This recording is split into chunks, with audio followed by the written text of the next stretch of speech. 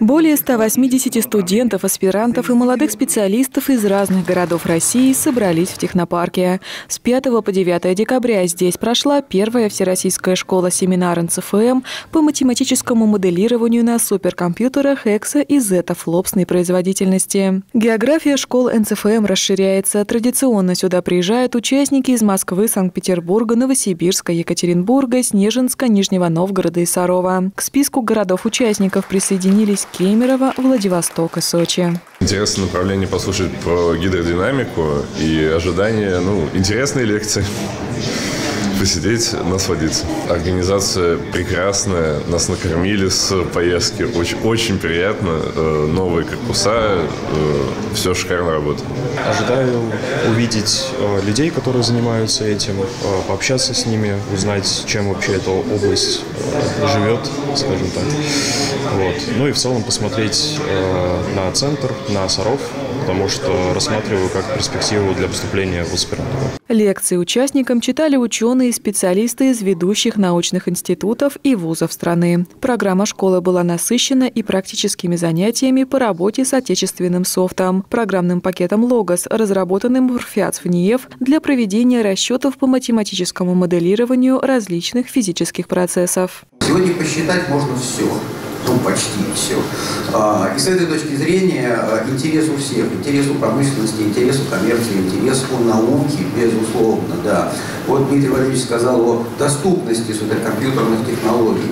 Да, с одной стороны это так, но с другой, для того, чтобы этим воспользоваться, нужно решить очень много нетривиальных задач. Нужно понимать, как проходить этот путь э, от постановки задачи до получения осмысленных результатов. Молодежь должна знать э, о новейших разработках, э, куда мы движемся, э, то есть направление работы в данном случае я считаю, что эта школа проходит все-таки по вычислительной и прикладной математике.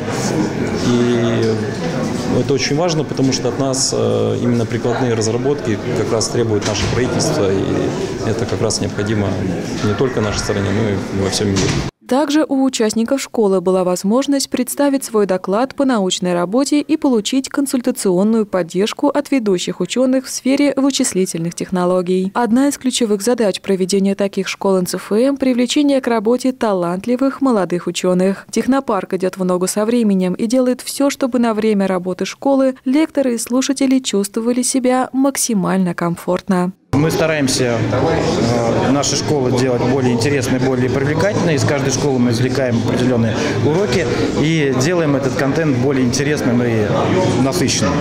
Вот. Конечно же, если говорить про инфраструктуру, у нас еще буквально недавно добавилась заправка электрическая, то есть теперь на, в технопарк можно приехать на электромобиле и э, обеспечить его э, комплексную заправку. Научная образовательная школа НЦФМ четвертая в этом году. Ранее в Сарове работали над изучением физики нейтрино и астрофизики, физики высоких энергий и ускорительной техники, а также лазерной физики и лазерных технологий. Анна Пелепец, Константин Островский, Сергей Рябов. Служба новостей Саров, 24.